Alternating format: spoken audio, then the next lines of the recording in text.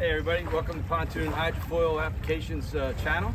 We just want to announce uh, our new VARA Plate design. This is going to be our Model 3. It's a manually actuated system to whereby we have three to four inches of trim uh, changes that we can make. Um, we're going to start out today with a one inch change uh, because we believe that's going to be enough for the 75 uh, horsepower uh, E-TEC uh, from 2012. Um, we're going to try it out on a 20 foot Avalon pontoon boat. And this these changes are going to be able to be manually uh, done by six bolts. And as we said we can change it from three to four inches. So we just want to announce this new product.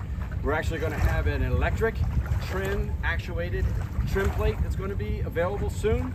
That's also in prototype right now.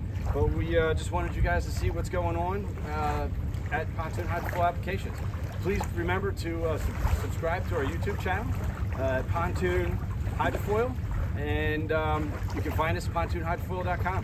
Thank you for visiting.